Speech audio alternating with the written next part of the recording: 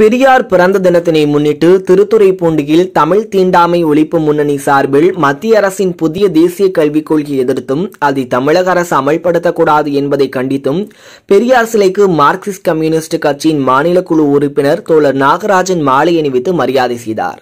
பின்னர் அவரது திருவுருவ சிலைக்கு திருவாரூர் மாவட்ட தலைவர் வழக்கறிஞர் அரசுதாயு மாணவன் தலைமையிலும் நகர தலைவர் தோழர் சண்முகம் முன்னிலையில் கண்டன ஆர்ப்பாட்டம் நடைபெற்றது. இதில் மார்க்சிஸ்ட் கம்யூனிஸ்ட் கட்சியின் மாவட்ட குழு உறுப்பினர்கள் சுப்பிரமணியன் சாமிநாதன் நகர செயலாளர் ரகுராமன் ஒன்றிய செயலாளர் காரல் மார்க்ஸ் மற்றும் தோழமை அமைப்புகள் கலந்து கொண்டனர். கொலைகளை